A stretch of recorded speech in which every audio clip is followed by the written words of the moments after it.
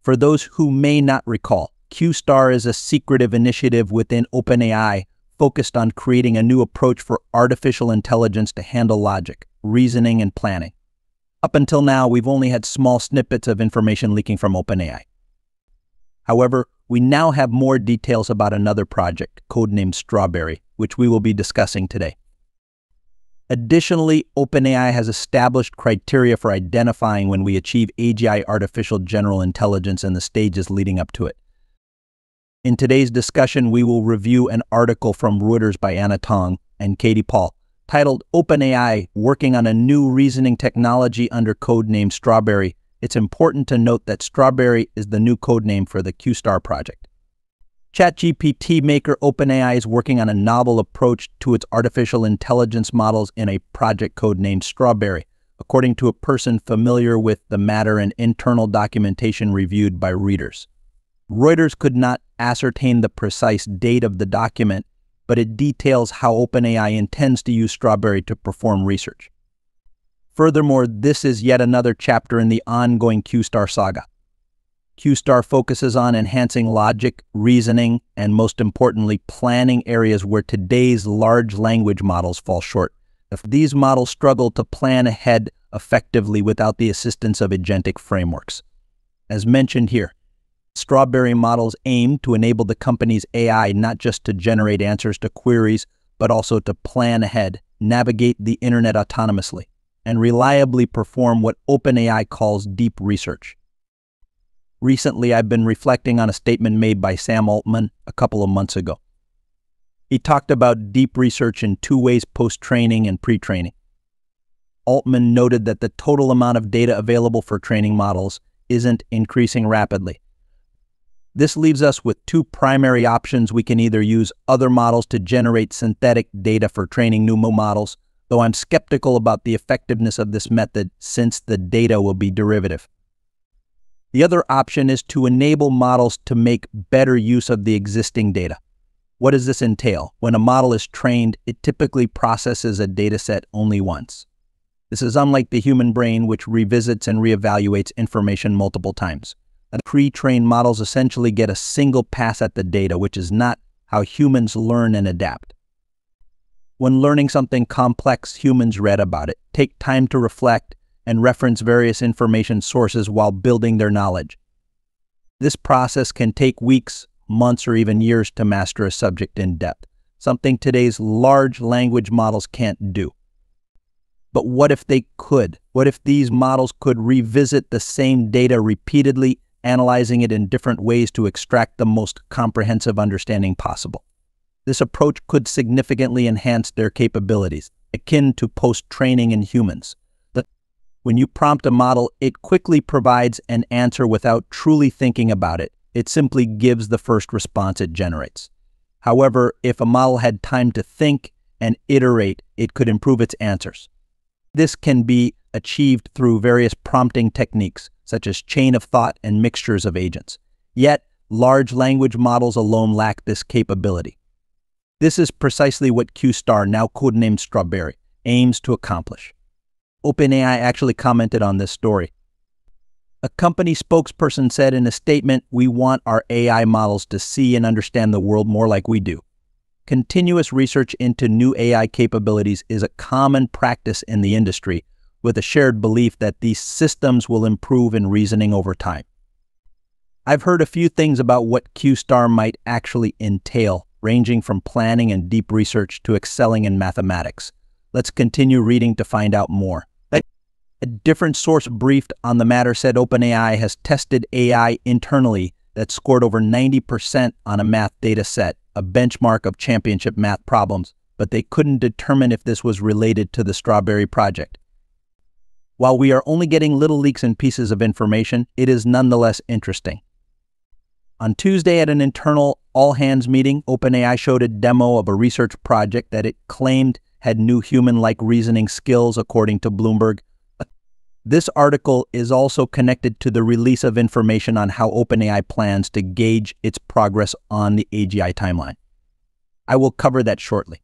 Here's a particularly important paragraph that highlights a significant truth about how models function today. Large language models can already summarize dense text and compose elegant prose far more quickly than any human.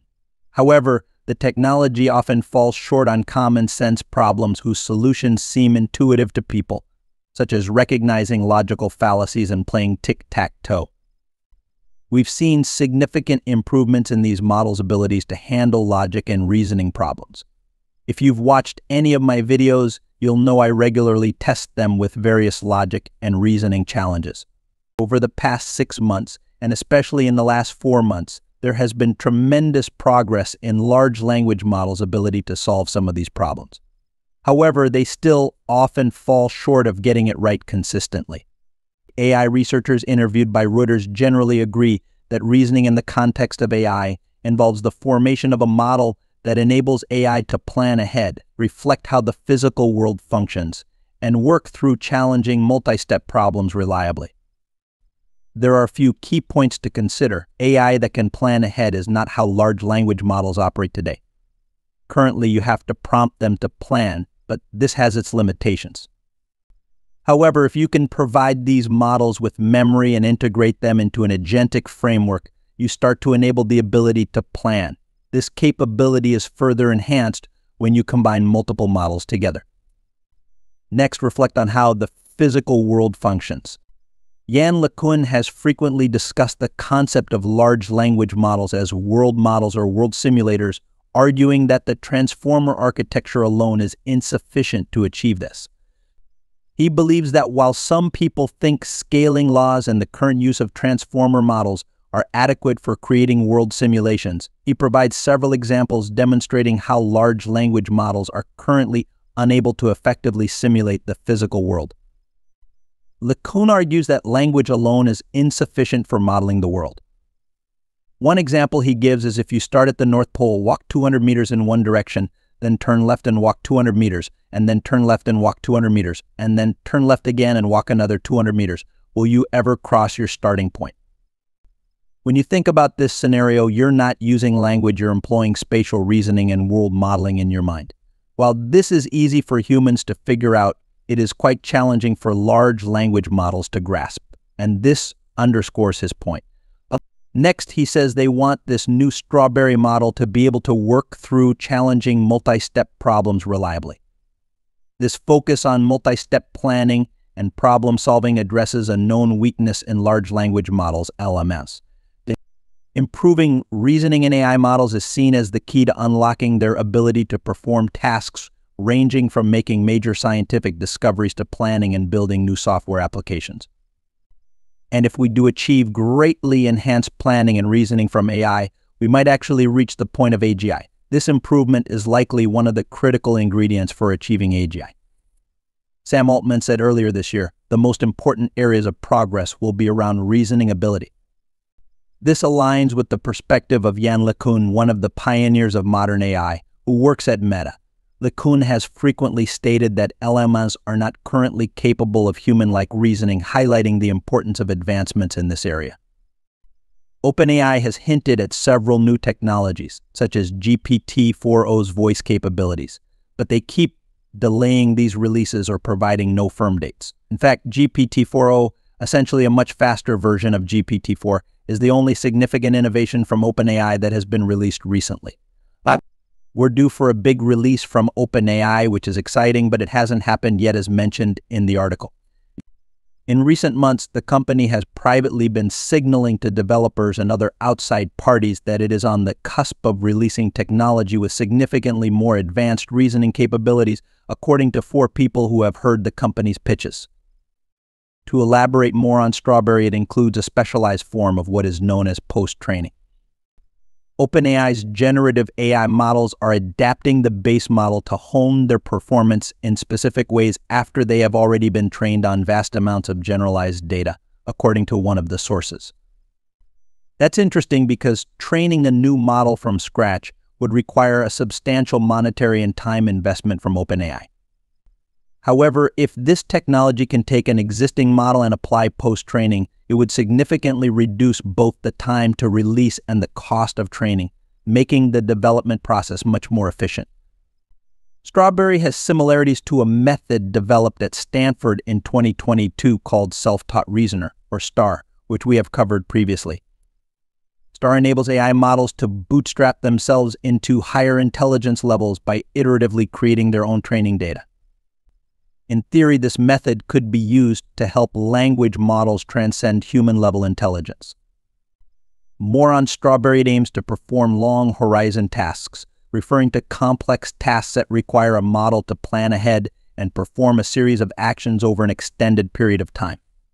This is something Sam Altman has discussed, both pre and post training. Essentially, instead of the model just taking your prompt and immediately generating the first response it can think of, it would actually take seconds, minutes, hours, or even days to thoroughly consider the problem, come up with the best possible answer, and then present it to you. This might be a setting you can adjust, allowing you to specify take as much time as you need or I need this within 10 minutes. The longer you give it, the better the result is likely to be.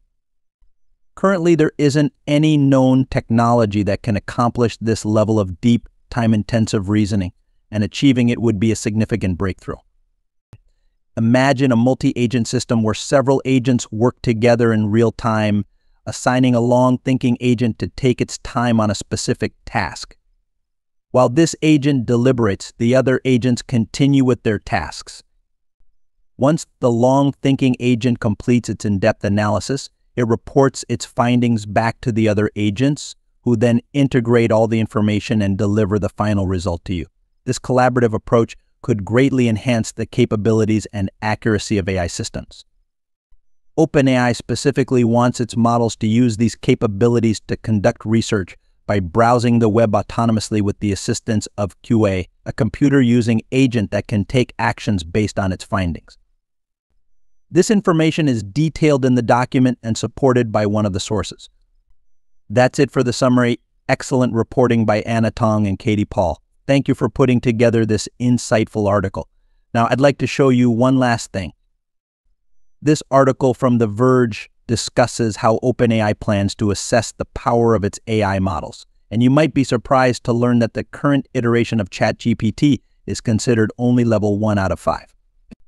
OpenAI views the current version of ChatGPT as quite basic, echoing what Sam Altman has previously stated the current ChatGPT is really bad and will be the worst it ever is right now. Despite the impressive performance of ChatGPT and its iterations over the past year, we are still just at the very beginning of its potential development. The OpenAI's created an internal scale to track the progress its large language models are making towards artificial general intelligence. Currently, ChatGPT is at level 1, and OpenAI claims it is nearing level 2. Level 2 is defined as a system that can solve basic problems at the level of a person with a PhD. Level 3 refers to AI agents capable of taking actions on a user's behalf. In my opinion, this level 3 is going to change humanity. When you can have agents working on your behalf, accomplishing useful tasks 24 hours a day instead of merely answering world knowledge questions, it represents a tremendous productivity increase for humanity. Apple's announcements about Apple Intelligence hinted at this potential, suggesting a future where Siri and similar assistants can perform tasks on your phone autonomously.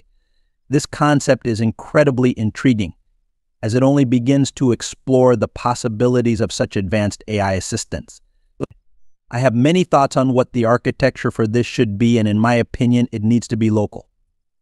For an AI agent to truly accomplish tasks on my behalf, it must have access to all my private information.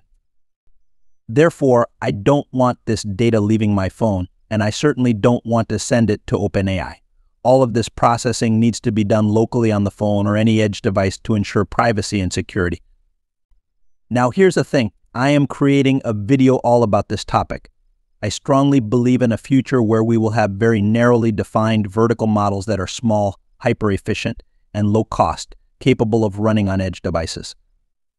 I will elaborate more on this in an upcoming video. Next level four involves AI that can create new innovations, such as scientific discoveries, mathematical breakthroughs, and much more.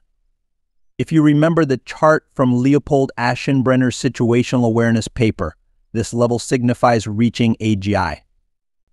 At this point, AGI can conduct research, self-improve, and drive the superintelligence explosion. Then level 5, the final step to achieving AGI, involves AI that can perform the work of entire organizations of people.